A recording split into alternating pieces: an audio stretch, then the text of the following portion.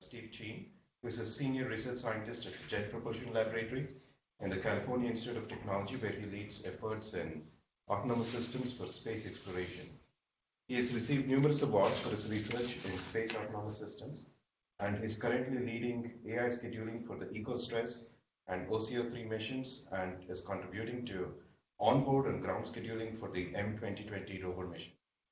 Today, he will tell us about the growing role for artificial intelligence for space exploration and the search for life beyond Earth. So welcome again, Steve.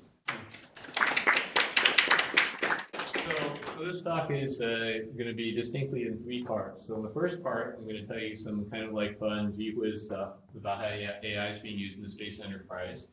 Uh, the second part, which is probably more focused on Satish and his group, I'm going to describe three combinatorial optimization problems that we're very interested in solving, and you know we've been working on probably for over a decade, and we still haven't solved them. Uh, and then in the end, I'm going to uh, go to the fun part again and talk about why you know I still beat my head against you know being at NASA and at JPL, which is basically how AI is really critical to answering the fundamental question of you know are we alone? How we can find life outside of the Earth. So really, AI at JPL NASA had this huge explosion when in 2003 we were given permission to upload software to control this one spacecraft, called Earth Observing One. Now it's just a random spacecraft. It's not any that unusual, but you know, since this is space, it has these weird things like it's flying seven and a half kilometers a second. You can see all these objects that are, you know, maybe tens of meters long, and it had a particular hyperspectral sensor that we'll talk a little bit about later. So what what's the purpose of AI on this? Well, the purpose of AI on this is the normal mode is you decide days, weeks in advance what it's going to observe. You take the images and then you maybe look at them a week later. And that's not very efficient. So instead, we want the spacecraft, I always say, not to be smart, but to not be stupid. Okay? And what's stupid? Stupid is taking all these cloudy images and processing them and downlinking them. Stupid is taking an image of an erupting volcano and not even realizing it's an erupting volcano. So we gave the spacecraft the ability to detect large-scale events, like an erupting volcano. This is showing processing some imagery of the Mount Etna volcano in Sicily. You can actually, the scientists will set a baseline, and if the thermal emission, you know, the amount of energy being emitted in the thermal spectra is above some threshold, we can do all kinds of things. We can say, on the next time over, observe it. Send an alert down. We can send an alert down that's literally more like a text message instead of the three gigabytes of data, which is the single image. Okay, so that means we can get it down faster. And so we did this actually for over a dozen years. We had a lot of impact, you know, because we automate the operations. We can, you know, uh, save money. Uh, we, we, can actually respond more quickly. All kinds of wonderful things like that. And then we thought, well, what's better than one spacecraft? Well, actually, there's another way of describing this. We, we got this spacecraft easy enough to operate that people could task it from their smartphones anywhere in the world connected by the internet. And so then we thought, well, what's better than making it so that anybody with a smart, any human can task this? What's dumber than humans? Well, AI, of course, right? We all know AI is dumber than humans. So we said the ultimate test is having software agents all around the world tasking the spacecraft. So that's what we did. This is one of our primary use cases for this, and we call this the sensor web. So we take different spacecraft, we process their data on the fly, and we use them to automatically task other spacecraft.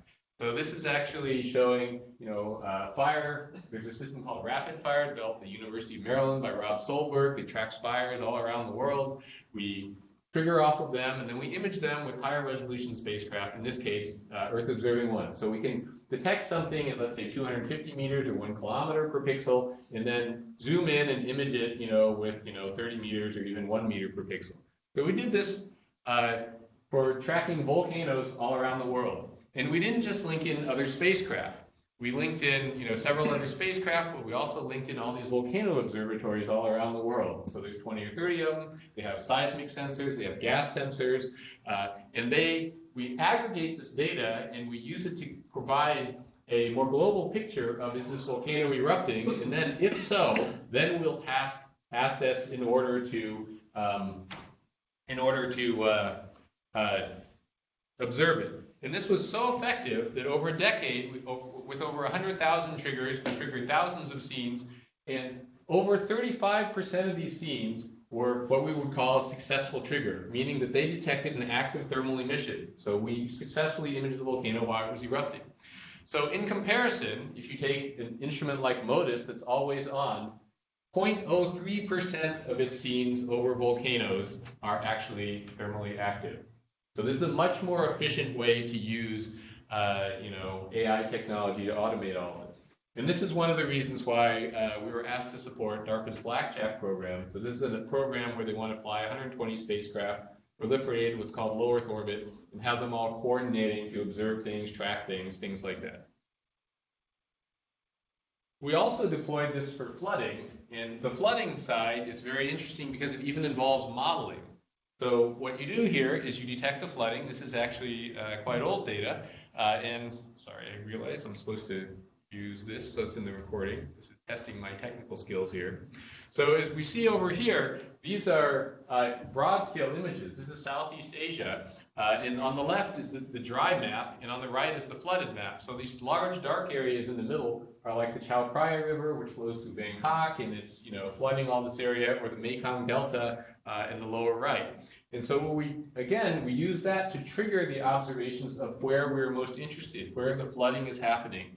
Uh, and the interesting thing here is that we can also link in uh, hydrological models here. We had a collaboration with the, Hydro, the Hydro Institute of uh, uh, Hydro, Hydro Agroinformatics Institute of Thailand. They actually run several different flood models, and these are basically water propagation models. It rains in the mountains, the water flows downhill, eventually the lowland floods anywhere from 14 to 21 days later. So we can use that to predict where the flooding is going to happen. And then we call in all of this uh, commercial imagery, so in this case, GeoEye or IKONOS. These are very narrow footprints, but like one meter per pixel images. And the end product we deliver to the users is they have what's called a GIS, a Geographic Information System, where they can click on any pixel and look at the time series of how much water was there. We can infer how deep the water is because we have a digital elevation map, we know, you know, if the water is here and the water is here, you know, it must be deeper here because, you know, the digital elevation is lower. And so the NGOs can use that to as a proxy for damage to crops. Um, this was the huge flooding incidents here. Uh, the way in which people, some people in the United States might have learned about this is the price of uh, hard drives skyrocketed because about one third of the world's capacity for building hard drives at that point in time was actually in a factory about 20 kilometers from Bangkok that was flooded and they had to evacuate it. You know, huge amounts of damage. So what's all the different AI? Well, where are all the different places we're using AI? Well, uh, we actually, as long ago as, you know, over a decade, we were using support vector machine learning to learn to classify all different kinds of satellite imagery. Uh, this is to classify snow, water, ice, and land. Uh, you'll see trickled through here, there are all these references. If people are interested in follow-ups, this is like the journal articles on this. We were actually able to outperform the human expert classifiers here. Uh, uh, this is a, a a Bayesian cloud thresholding technique that's now been baseline for two or three future missions. Uh, you can just look at here in these two different spectra. So um, our eyes, we see, you know, the world in the visual spectra in red, green, and blue. It turns out, you know, there's all these different spectra ranging from thermal infrared to, you know, X-rays and everything. Uh, we can build these great instruments that can look at different spectra that we can't see. Uh, the problem is, how do you actually analyze this data? So we have what are called hyperspectral instruments that might have 100 to 400 of these spectral bands. Uh, and so now we have this 100-dimensional space, and we need to build these classifiers. Turns out, slightly better than people are machines for this, and we can even choose if we want to make the classifier aggressive or not aggressive. This is a particular application that's rife everywhere, because we two-thirds of the images that we take are cloudy. And generally speaking, people don't want images of the clouds. My apologies to all the atmospheric scientists who want the images of the clouds. Uh, and so in this application, we compress the heck out of the cloudy parts of the images. So that's a huge win because we're producing too much data. Uh, this is actually yet another cloud classifier. This one is using a, a system called TextureCam. TextureCam is an implementation of random decision forest classification. So, you know, people are probably familiar with decision trees, random decision forests. They're basically you take all these little snippets of the trees and then you compete them. They get to vote. It's a random decision forest. Has a lot of nice mathematical properties. There's actually an FPGA implementation of random decision forest classifiers. Uh, which we like because FPGAs are a very cheap, low power form of computing for space applications. And we hope to fly this in future Mars rovers. In particular, it's called texture cam because computing the texture of the different rocks, which is very important to determine what kind of rocks you're looking at, uh, is usually computationally very expensive, but in the FPGAs you can do it very efficiently. So we're going to hear more about this later. And then finally, the ultimate in onboard processing is actually what's called superpixel or end, end member unmixing. So I said before that, you know, we can make these instruments that see, you know, hundreds or several hundred spectra simultaneously. And what that looks like is all these squiggly lines. These are the different spectra, uh, except you have all these squiggly lines for each pixel. So imagine, you know, you're looking at 10 to the 6 pixels in a single image. In each pixel, there's this other dimension of the spectra where you have 400 dimensions there. And now what you're interested in is what am I seeing on the ground? So these are actually surface minerals. You can do this for gases as well. One of the biggest applications of this is called imaging spectroscopy, is to look at uh, uh, fugitive emissions like methane, carbon dioxide, and things like that. And it turns out that these substances roughly linearly mix. What does that mean? If I'm looking at a pixel, in this case the pixel is 30 meters by 30 meters, and it's 50% x and 20% y, the spectra that I'm going to see to a first approximation is the weighted sum of the substances there, right? So obviously you can invert that. If you have priors on what you think you're going to see, you can use that. And this is actually showing that we can literally do this on board. So now what we can do is we can search for specific minerals, specific gases, and then respond to that. So that's the kind of smarts that we want to put on board the spacecraft. Um, we can also combine all kinds of different information. This is commercial imagery here of the Eyjafjallajökull volcano. This is the raw imagery. This is a very poorly, uh, uh, let's just say, stretched image in order to correct for, you know, some of the images are just unusually dark or unusually bright. And then this is showing actually, again, a random decision forest classifier using pixel PixelLearn that's showing the heat map here. The white zone is saying, we think this is plume. And by the way, it's also falsely saying that that's plume. We think this is the shadow. And we think all of this around here is the land. And then what can we do with that information? Well, if we have that on board, we know the viewing geometry, we know where the sun is, we might know where the ground is, we can actually compute an estimate on what the plume height is. So now we're getting into very interesting stuff to the scientists. So we, again, we want to take all of this data, turn it into knowledge, and then do decision making on it on the spacecraft. Okay? So that's just an example of one of the, you know, literally hundreds of applications where we're trying to, in basically, with no work for the scientists in near real time, go from the data to the knowledge and then put the decision making after that. I'm just going to uh, touch on everybody endlessly talks about deep learning now and you know supervised learning. We're actually much more interested in some sense in unsupervised learning. What do I mean by that? These are all different kinds of outlier analysis to pull out the things that don't fit in with the rest of the images or even the image set. So this is actually uh, doing a visual outlier analysis that's pulling out the snow at the summit, snow and minerals at a volcano in Chile. Uh, this is one that uh, other people are very interested in. We run it on visual salience, you know, on the visual RGB, and in this rural scene, it's pulling out the buildings because they don't fit in, because they spectrally don't look like the other things. We're running this on visual features, but there's no reason to run this just on visual features. I'm running it on visual features because then it'll also pop to your eyes. But you can run on texture, you can run on spectra the human eye can't see. Uh, fundamentally, you're just pulling things that don't fit in statistically with the rest of the image or even your image set. And so we want this because NASA's job is to go to these planets where we get surprised by things. And when we build these classifiers, the scientists always say, well, what about the things we weren't expecting? So this is our hedge. Go ahead. I mean, what's NASA's interest in buildings? I, it's not like you expect to see buildings on Mars. Yes, but if you did see them, wouldn't you want to know? so Phil Christensen, who's a very famous planetary geologist, once said, we were saying, well, what really? So he's the PI of a bunch of instruments. One of them is a thermal imager at Mars on Mars Odyssey called Themis. Um, and he said something that, you know, seems kind of obvious in retrospect, but he said, the science value of a discovery is exactly proportional to the amount of surprise it generates. So one of the things that we pitched to him, and actually were approved, but then later denied after we were approved, was to look for thermal anomalies in all of the, the, the Themis data. So when you have an infrared imager, it's basically always on. You never turn it off because you want this instrument. It's, the instrument is trying to detect very subtle thermal signatures, so it has to be at thermal equilibrium. And so when you have one of these instruments, you never turn it off.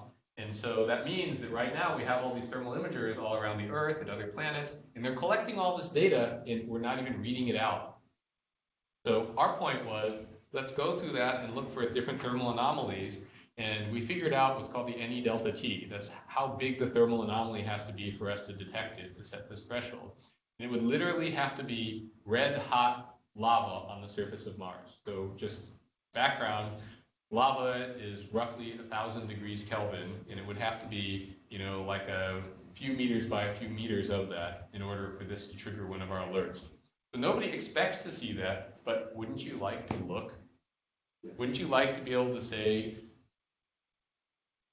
at least we know we didn't see that rather than saying, uh, well, I could have seen it data because we couldn't get it down, right? Okay. So what I'm particularly interested in is scheduling, which is once you make these detections, what do you do with them? So this is a horrible eye chart, but since we're all AI people, I can very easily tell you what we're doing here. Basically, these are all the activities that we actually want to do. And down here, all the things that get in the way. What do I mean by that? These are all the aspects of the spacecraft that we have to check before we can, you know, before some random person in Thailand says, well, image this, you know, forest because maybe it's on fire. We have to know, is the spacecraft even in the field of view? You know, only when you're flying over that area can you like take it. We have to know, is there data volume capacity on board in the solid state recorder. We have to know how do we get the instrument in the right mode. That takes time, depends on what you're doing last, the last thing you're doing before that. Uh, we have to know is the instrument overheating? We have to track the thermal state of the instrument. Uh, we have to figure out how to get the data down. So when we're in the field of view of the different ground stations, then what, what kind of ground stations are there? Uh, we have S-band and X-band, you know, low data rate and high data rate downlink when we're doing the high data rate downlink, we can't actually take images at the same time. So, you know, that's conflicting. So this is a classic AI search problem. You're searching to optimize some objective function of all these, you know, activities that you're trying to do, and this is the thing that's always getting in the way. So it's some form of generated test and a lot of search. So specifically for this particular problem, for Earth Observing 1, we have what are called priority and maneuver constraints. Can we see the target? Uh, is it overlapping within some temporal zone with another higher priority target? And then we basically search in that space. We actually generate what are called the candidate tuples. We have to consider multiple options, either keeping the instrument on or turning it off in between the observations. And there's a very different sequence. Uh, if the observations are very close but not overlapping, we can leave the instrument on. If the observations are far apart, we turn the instrument off. There's actually a death zone in between that we actually can't observe. It's very counterintuitive. It's too long to keep the instrument on, but not long enough so that you can turn it off and turn it back on. And then we actually have to do this repair where we track all of those other side features. The thermal, the you know, the, the instrument mode, and this is where we actually enforce the timing, resource, and state transition and temperature constraints, and then we repair this.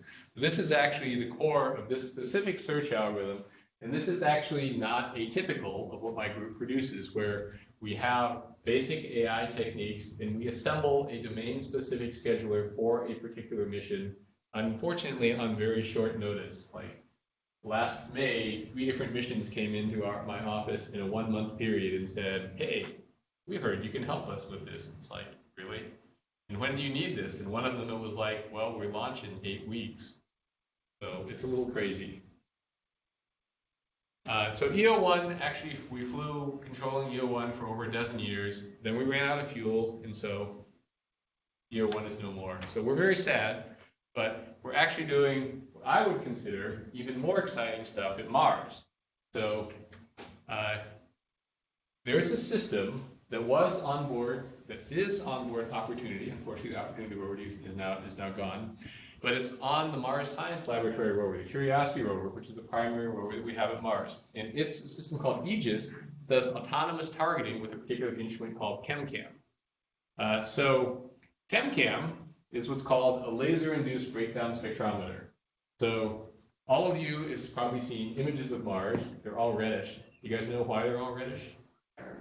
Yeah, exactly. There's this coating of high iron-rich dust that's covering everything. So if we ran around with our spectrometer and measured all these rocks, we get iron, iron, iron, iron. And then the people who paid, which is you know everybody in this room, the taxpayers who paid 2.4 billion dollars to send this rover to Mars, would not be very happy. What a laser-induced breakdown spectrometer is, is it fires this pulse laser, it burns off the surface, and we study the spectra, again, common theme of spectra, of what comes out and what's underneath. Okay?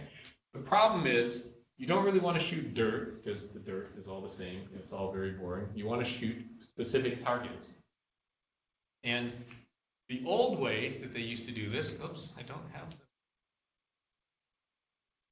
so the old way they used to do this is they take a panoramic image at the end of the day, they downlink it, the scientists would sit around, they'd argue, they choose targets, uh, and then they would uh, figure out the command sequence to target that rock, and then they'd upload that, and at the start of the next day, then they would, you know, execute that target sequence. Okay? So what Aegis does is it basically automates all of that. They have a block that it can insert any time in the day. It doesn't have to be at the end of the day or the start of the day. And they specify specific science criteria. They can say, look for targets that are far away from the rover, look at targets that are close, look at big targets, look at bright targets, look at textured targets, whatever. Uh, and then the, the software takes care of it all on its own. Uh, and there's a great article in Science Robotics on this uh, last year. And this has been so successful that they actually are taking more than 50% more ChemCam uh, measurements than they used to because it's much easier to take them. Okay? And the next rover is going to Mars, Mars 2020, is going to have an even more capable targeting system on board. Oops, lost. Over there already on the edge. So it's going to be able to do things, and in the future, we want to do even more advanced things like classify different surfaces. And the scientists are very interested in what's uh, imaging called contact layers, contact or boundary layers. So take a set of measurements across the different boundaries of, you know, the mudstone and different things like that. Now, I'm a planning and scheduling person, and I told you M2020 is the next rover. Uh, so the, what I'm most excited about is the next rover will have an AI scheduling system on board. Um, and why why are we interested in an AI scheduling system on board? Other than, of course, it's not an AI scheduling person. I think it's a lot of fun. So it turns out they did this study on MSL. And in MSL, they predict how long the activity is going to take, and they're conservative. And when they get done early, they can't really do anything else. And so the rover spends a fair amount of time sitting around, as much as 30% of the time sitting around. Um, and that's because if things run late, it doesn't have the ability to fix things and drop activities. Okay? And if things run late, then they do what's called they fault out, and that's like a really bad deal. Nobody likes that. They have to figure out exactly what went wrong. So this is actually showing uh, basically how many hours of missed time, time and energy, because uh, the rover is sitting around. Actually, we have an RTG on the MSL rover. It's basically it's People might tell you it's a nuclear reactor. It's not. That's an active nuclear reaction. This is radioactive decay producing electricity. Okay, so it's an RTG. Uh, and so if we have extra power, we actually get rid of it because too much power is a thermal problem. So we actually shunt it. So it's literally wasted. Okay. So what the scheduler does, this is a plan for a day. This is a specific one, medium drive with post-drive images with post-drive imaging. And when this drive finishes early, it can, it's smart enough to adjust the rest of the plan here. Uh, we're going to see it very slowly. And that might seem like a little deal to you that it adjusted that plan, but there's a lot of work that goes into having the system able to do that. So we have to be able to fully represent all of the constraints that we have in the schedule. And this is actually the same uh, the same portion of the plan here, but it's actually showing how it's scheduling it. So these are all the different constraint intervals that we're intersecting. And then we're also tracking the energy level. This uh, line here is the energy level across the sol, the, the, the, Martian day. Uh, and it's very nonlinear how you manage the energy. And one of the most important things that we schedule on board is we actually schedule the wake and sleep cycles of the rover. You tend not to be awake during the whole day. You actually take naps in order to conserve energy, so you have more energy to do things because energy is one of the limiting factors. So, as you can imagine, people are sort of stressed by the idea that an onboard, allegedly smart AI system is going to be scheduling when the rover is awake or asleep. Because, let's say, for example, if you go to sleep and don't schedule an awake, that's end of mission, right? Uh, and so you would not imagine how many hundreds of hours of meetings we've been in, in talking about the eight to 10 safeguards that we have to make sure that never happens. Okay? Yes. Sorry, quick question. So I spend a lot of time talking to people that are kind of consumers of the products of innovation. Hmm. They do modeling and so on. Thanos or astrology or other things. So I wonder if you get a lot of constraints or guidance or priorities from people that are analyzing the data as you go. It could be people or it could be systems in the rover, right? So you, do you have those types of constraints? Yes, so there's kind of two set, two origins of those constraints. There's the engineering constraints, which are, you know, you can't do this because you're going to break the rover and endanger it or the spacecraft, or the spacecraft just can't point that fast. Then there's the science constraints, and so uh, I was very fortunate to have gotten to work on the European Space Agency's Rosetta mission, uh, you know, which you might have heard of. It escorted this comet Churyumov-Gerasimenko for over a year, and I guess I'm going to repeat a phrase that Steve Smith coined, where he said something like, you know, solving a scheduling problem is not being presented with the problem and producing a valid solution. It's the process of uncovering the underlying constraints that are really driving how you attack the problem. And that is absolutely the case. So in Rosetta, we would often get a set of constraints on a science campaign. Then we would run our scheduler, and then the campaign would not appear and then the scientist comes to yell at me, like literally, you know, I'm down in my office in Madrid, and they're like, where the H did my like observations go? And so we had a constraint visualizer which showed the intersection of all these constraints, kind of like this, but much more complicated because there are all these geometric constraints. And they would say, ah, oh, did I say the phase angle had to be 35 degrees? I really meant it could be 45 degrees because I can relax that, but that means I'm not going to get any data, right? And the problem is there's this immense multi-objective optimization space, and I would venture to say that even the scientists can't even characterize the space. So one one of the uh, uh, cases that I use to give my example is there's one mapping campaign by the OSIRIS instrument that we identified over 20 dimensions of that campaign that would be considered different parameters of that campaign that they would have to specify their objective function over those 20 dimensions. So it's like a series of blocks and how many blocks you get and how the blocks are spaced. Each block is 12 observations, how it's stepped, how each, those are separated. You know, it's a set of maps you're making. You want them to be the same distance from the nucleus because otherwise you have to correct for that. You want the same lighting, you know, all these different constraints. And it's like, which do you want most? no idea, right? So that's, I think, a you know great area uh, of work, you know, and then uh, in fact, you know, when I was talking about the sensor web stuff, integrating the modeling with the sensing is something that we're also trying to do. It's a long journey. So in practice, how, well, I guess, how many rounds do you end up going through, and like, as the missions proceed, do the scientists get better? Until time runs out, that would be the Rosetta experience. So, I. I mean, at some point, you, Tweak until death. And actually, I would say it's mostly based on the personality of the scientist, how many rounds you go. I mean, there was one scientist we had, actually JPL, Mathieu Troubrian, I love him, but like, he's like fiddling with the exact angles of every slew, like literally to the last minute. And he would probably agree with this. It's not clear that his tweaked slew parameters were better than the machine, the algorithm we had generated. He just liked to do that. Did that? Yeah, well, I just, so I- I guess the, the kind of, just- my second question was like, do they get better at it? It sounds like. Yes, no, no, no, they absolutely get better at it. In fact, on Rosetta, they got so much better at it that uh, after we saved the spacecraft, we had a, it was blinded by some of the dust. They actually went to a new operation scheme that was more flexible, that one of the two planning systems that we deployed, they didn't use. So basically, they learned so much about exploring the constraint space that they knew how to place the campaigns on their own, and so they just did that. This is like AI the other way. Yeah. Well, it's not a bad thing. Yeah. If I understand it correctly, you're saying that people were putting constraints on this uh, uh, optimization tool that were somewhat arbitrary. Um, I wouldn't say they're arbitrary. I would say that because of the, because of the tool, they were forced to specify them as hard constraints, where really they were soft constraints. Yeah, that's what I was wondering. Is there a way to somehow make them soft constraints? or- Sure, but then you run against the problem that I mentioned, that when they're soft constraints, now you have to trade them off, and you have these 30 dimensions, and how do you trade them off? And if you ask them for what their objective function is over those 30 dimensions, they can't provide it. Yeah.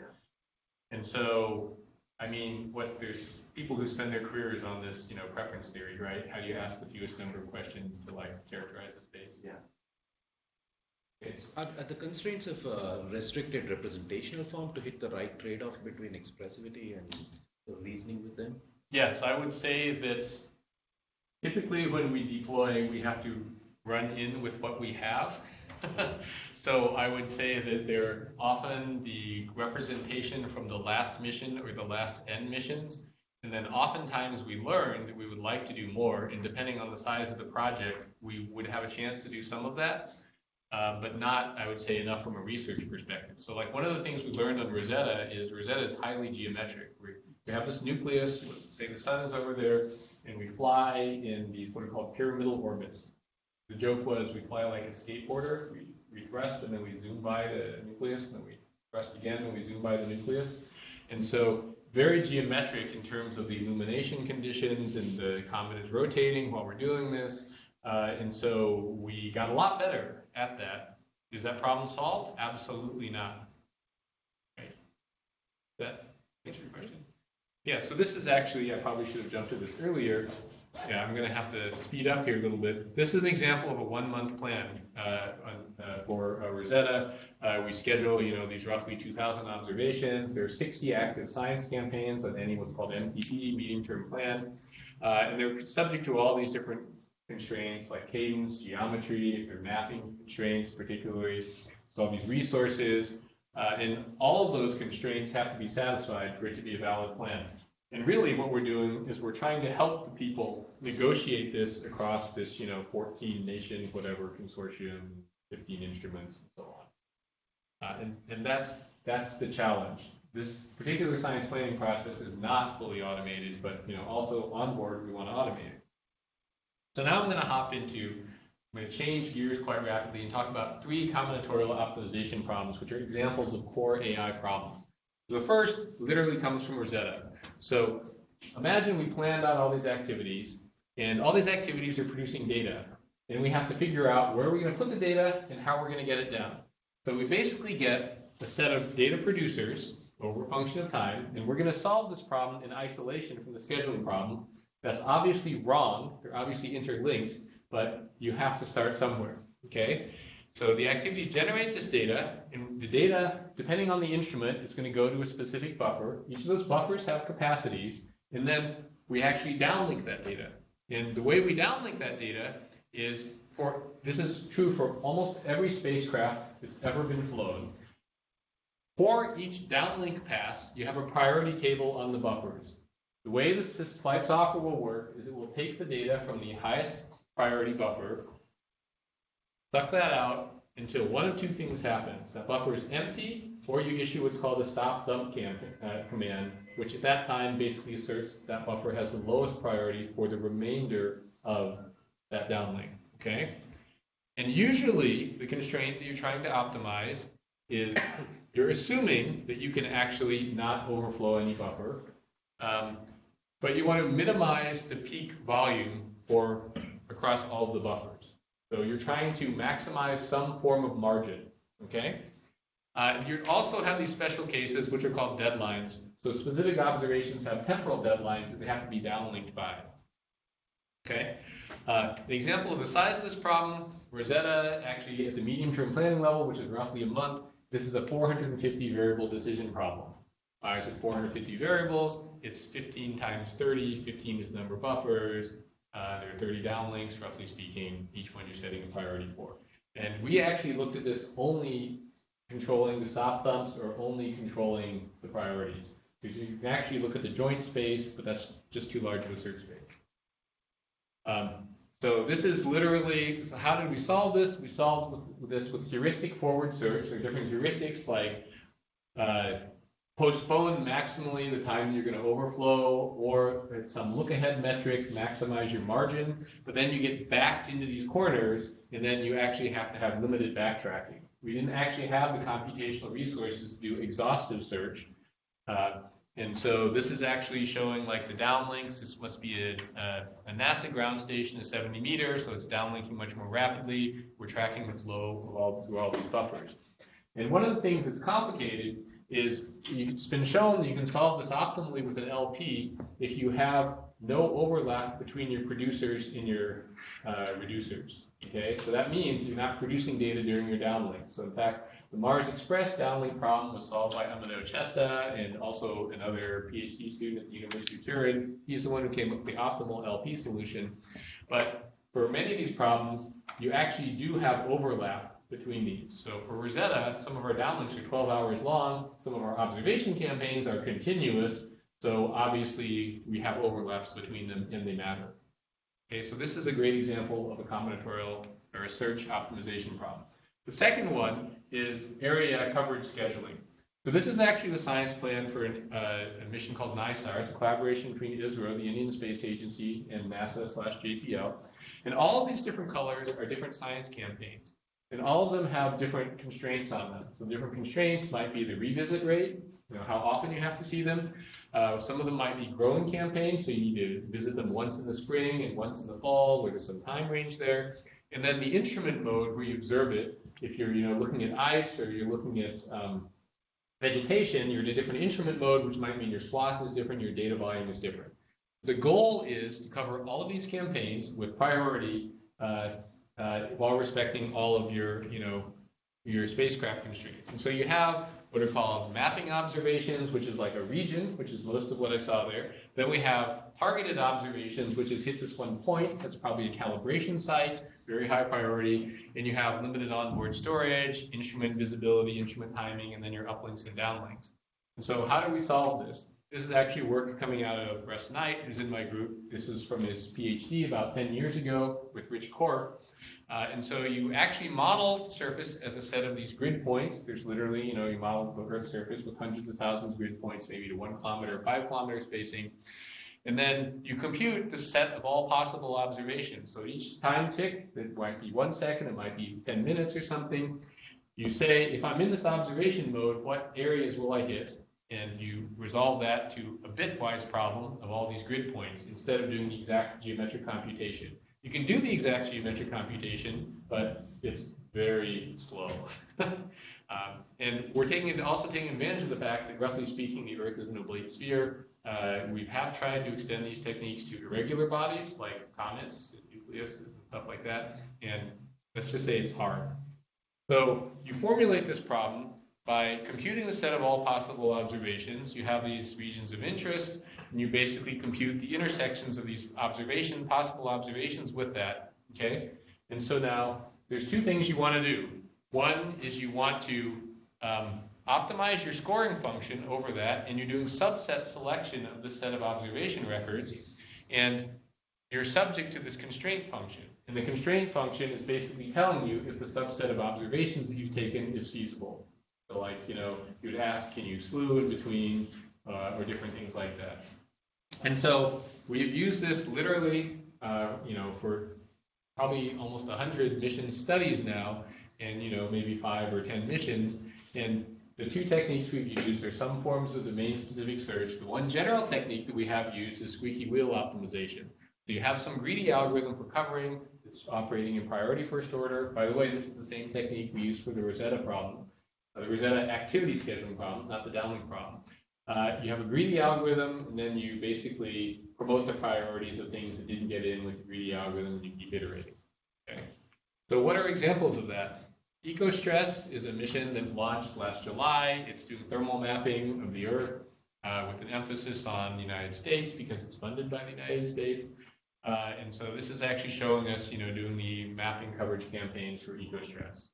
And we had to solve this problem not once but three times because basically there have been two different anomalies on the spacecraft that basically made it a different spacecraft. Actually, a different instrument. On the space station. Uh, OCO3, uh, which is measuring carbon uh, in the atmosphere. Again, it's an instrument that's going to be on the space station. It has different modes, what's called area mapping mode, glint mode when it's over the ocean, and then nadir mode when it's over the land. Uh, we do that as well. Uh, that's going to launch in uh, about two and a half weeks. So uh, as you can imagine, we're in quite a tizzy over that. Okay, so now the third combinatorial optimization problem I'm going to mention is actually much, much harder. And it's what's called the agile framing coverage problem. So imagine a spacecraft flying over a target. And now, instead of taking a single picture, we want to take a mosaic of 20, 30, 40 pictures in order to cover some area that we want. Why is this hard? Oh, you just take these tiles and you lay them down. The problem is, depending on when you take the tile, your footprint is different. Why is that? If I'm looking to the side, the footprint is extended. It's, it's basically grown in the across track dimension while it's further away, right? Because you look further away, the same angular field of view goes differently. So this is an example from a single overflight. This here uh, is the footprint uh, of this centered on this point P if I take it at the start, and this dark line is the final footprint if I take that image four minutes later. Okay, so the footprints are changing.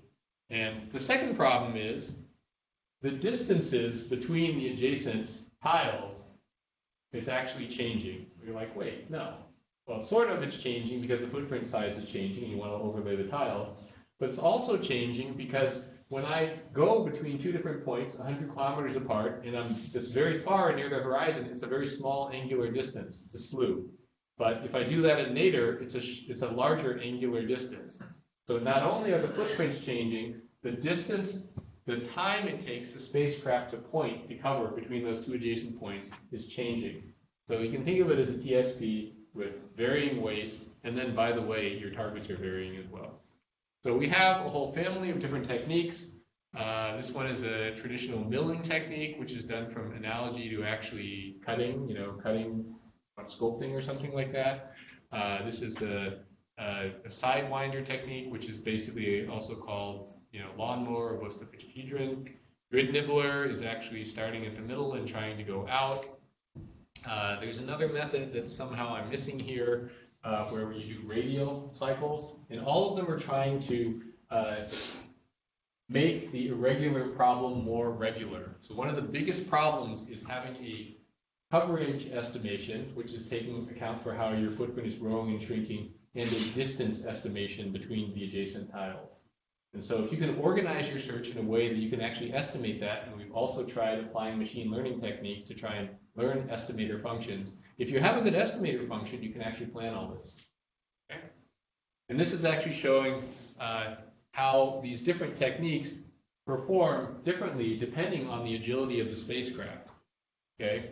So if your spacecraft can point very quickly, then your goal is to do things like minimize the make span. Uh, if your spacecraft is not very agile, you're just struggling to even cover the problems and to be able to solve them with the different techniques. So that's the third uh, and why do we want to do this? We want to do this so fast that we can do this on board the spacecraft because we want a spacecraft, a lead spacecraft, to find something, and then we want the following spacecraft to be able to respond to that. You know, if we see a volcanic plume with the lead spacecraft and the following spacecraft, images of that exactly that plume. Um, OCO, OCO3, we actually want to do that, for example, to target around clouds. And then we also want to do this in the deep space context. So, so I mentioned that I worked on Rosetta. One of the really frustrating things is we were planning these observations weeks in advance. So if I look at this particular uh, nucleus, you know, maybe two weeks in advance, and I have this narrow field of view instrument that tells me about gas production, I just have to sweep it all the way across the nucleus and hope that I get the, the plumes that I want. So for a future mission, we'd like to take these image processing techniques that were developed by David Brown and my group. We just recently published this in the Astronomical Journal. We'd like to track the plumes and then be able to do a stylized, on the fly tracing of the plumes with this narrow field of view instrument. So that would allow unique measurements that we did not get at Rosetta. We'd be able to track the composition and gas production as a function of where we are in the rotation. So now, I'm just going to end with a little bit on why I'm still at NASA. I'm still at NASA because AI is essential for what I think the central role of NASA is, which is to look at some big problems that you know Google is not going to do, Amazon is not going to do, which is to find life outside the Earth.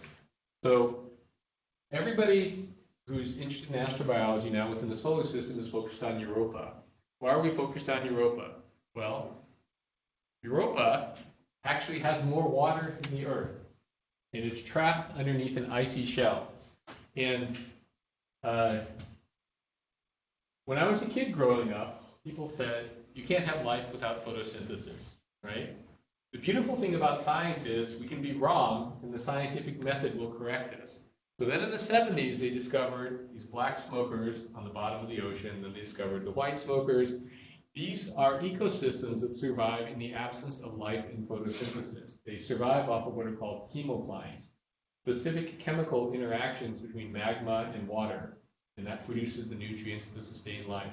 In fact, there's a growing theory that that's how life on the Earth started. This is in competition with the traditional theory, which is you have water on the surface, you have these precursors to amino acids, lightning comes in and injects energy, you know, just like with Frankenstein, and then you have life.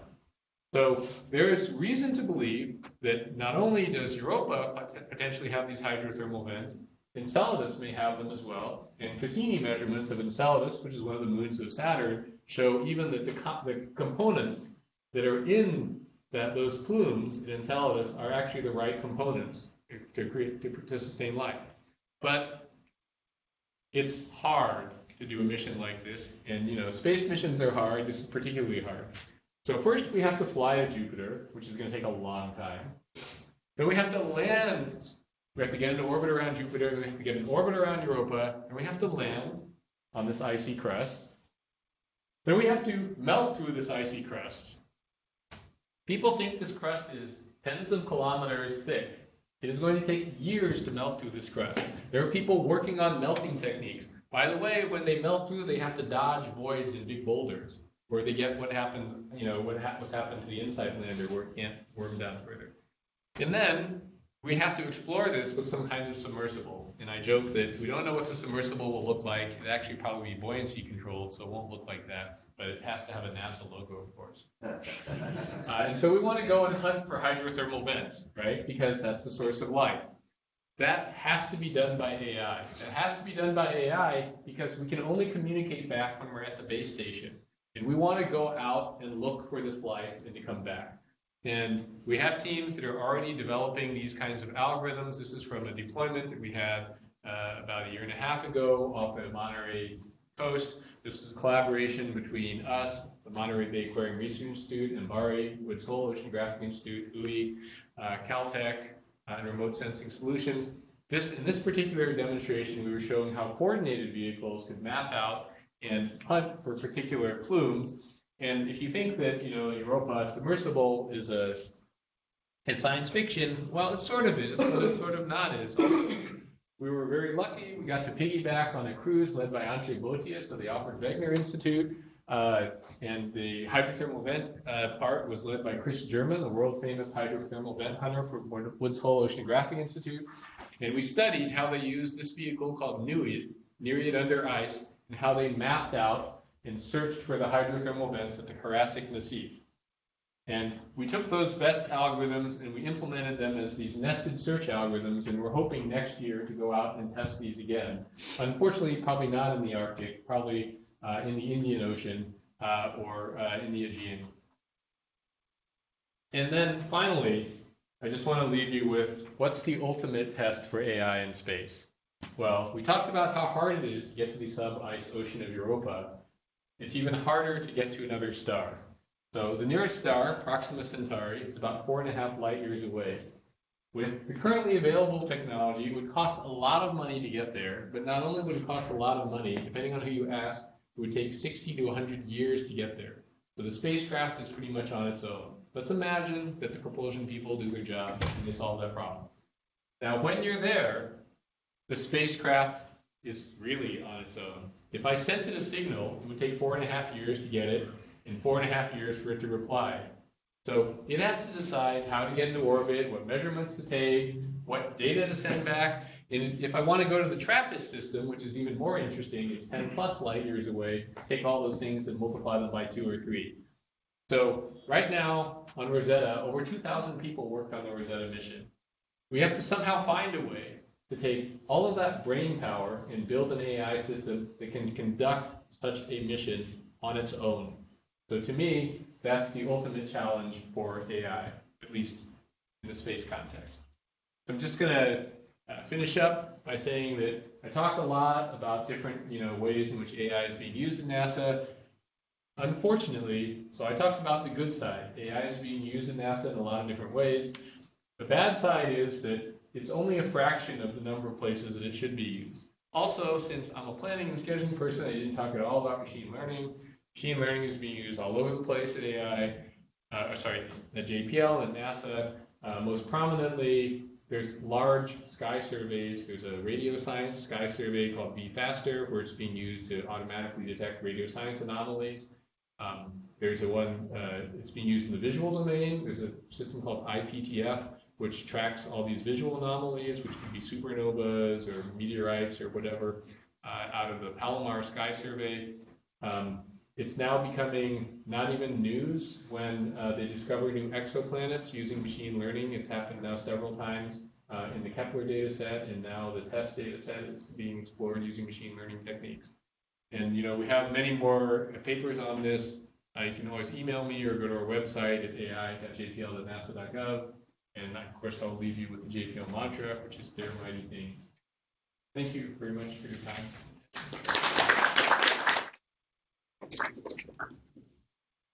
We might have time for at least a couple of questions, so.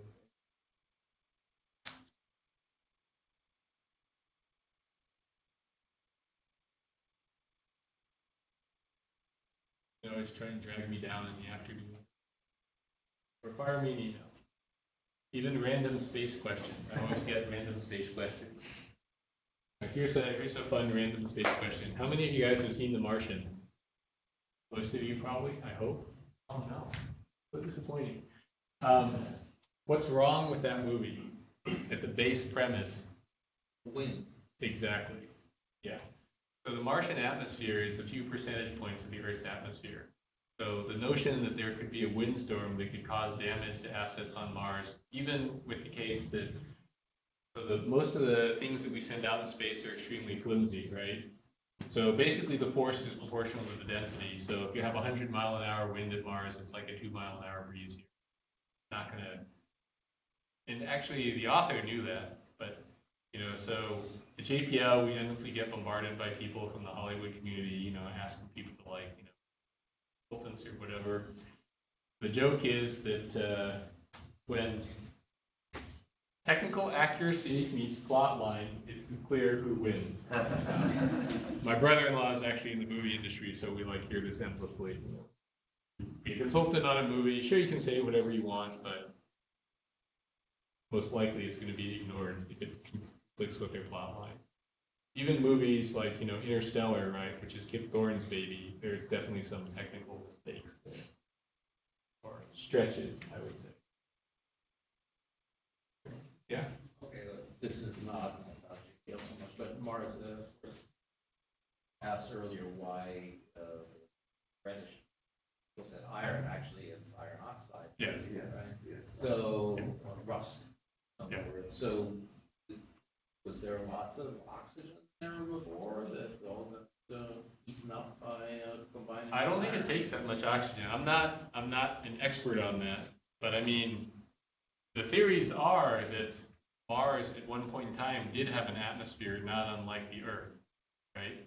Um, but there are several reasons why the atmosphere was not sustained. So first of all, the gravity at Mars is much less. Second of all, I'm not qualified to answer why, but uh, Mars does not have the same strength of magnetic field that the Earth does. And the magnetic field is actually very important to protect us from ionizing radiation. Um, and I think that has something to do with the lack of an atmosphere there as well. Yeah, so it's very, very hard to go and live in Mars. I mean, I mean, people are it's- proposing it as a solution to our problems. on- Yes, so, yeah, so particularly when I'm like in, let, let's say, less technical forums, you know, we always get asked this, you know, question or people make the point, we have to go to Mars because, you know, when we mess up this planet, um, you know, we need someplace to go. And my response is always the same. Earth is much closer to being habitable than Mars. So it's much less effort to fix whatever is messed up on Earth than to actually go and live on Mars. I mean, by like not even any stretch of the imagination, right? Um, you know, just to go and send, you know, you know, to land a 1,000 kilogram rover on Mars, you know, billions of dollars, right? Think of the supply chain that it takes to actually sustain people there, right? And so, I mean, really, you have to live off the land, right? And then we have to figure out how to do that because that's the challenge, right? Behind all colonization. But there are lots of, you know, other wacky ideas, you know, running around NASA. Actually, I shouldn't say wacky, I would say far out ideas. So, one example is, uh, you know, why should you should care about AI in space? Well, your life may depend on it. So we really don't know what the near-Earth object population is. You know, these are all the things that are in orbits near the Earth. If the wrong one of us, one of them hits the Earth, we're just gone. Nothing you can do about it. At least there's nothing we can do now. Uh, so NEO 100 is a mission concept where you would fly 100 of the same mission, take a very cheap spacecraft, and you build enough AI in it so it goes out, scouts one of these near-Earth objects, and comes back and tells you all about it. Why do you have to have AI? No one's going to operate 100 of these spacecraft. And by the way, you can't even communicate with them easily because they're, they're very small. They would probably be like a 6U or 12U spacecraft, about this big. Uh, and they want to statistically assay the near-Earth objects. We want to know, are they like asteroids, very dense? Uh, that's actually not good news for human survivability. Or are they very non-dense and porous, more like a comet? Um, by the way, if they're asteroids, then there's other people who are interested in mining them. Why are they interested in mining the, NE, the NEOs and not the asteroids that we know have all these valuable heavy metals? Because they're close. So close doesn't mean physical proximity close. Close means delta V close. It means that they're in a velocity vector which is very comparable to Earth. So uh, there are concepts to do what's called robotic colonization of the near Earth objects, which again would require all kinds of smarts and AI. What does that mean? You go there and land on one of these objects and you try and use it as a little mini spacecraft. What does that mean? Oh, well, you mine the minerals from it and you use it in spray in construction. Or you produce fuel there. Uh, or you shape the asteroids to make a coarse reflector and then you synthesize an aperture from hundreds of these to do radio science and stuff like that. So this is literally robotic colonization of not a planet, but a habitat. There are a lot of ideas like that flying around.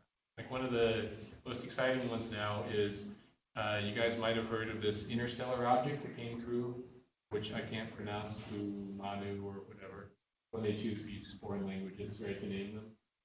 So I was actually sitting in a meeting where a guy comes running in because the head of navigation at JPL was in this meeting. Like they're like running in and they're like, "Oh my God!" And he like runs out and they're like trying to figure out how to get a solution on this object and point telescopes to go and see it. There are people who are proposing a mission, which would be a standby mission where you have four or five of these spacecraft that would be launched and in an orbit where you could cover the space and you could get more data on an object like this. Uh, and all of the terminal guidance and imaging and everything has to be uh, autonomous because the object's relative velocity is so fast, you just have to take that long. And then there's even a crazy idea by Masahiro Ono, which is called the hitchhiker, comet hitchhiker, where you take a long period comet and you harpoon it uh, and you catch a ride on it in order to get more data. Because then you can get out to the Oort cloud, one quarter of the way to the nearest. Many, many challenges on that. Carbon nano, diamond, like that, because heat velocities are so big. I saw one. If not, then let's thank the speaker once again.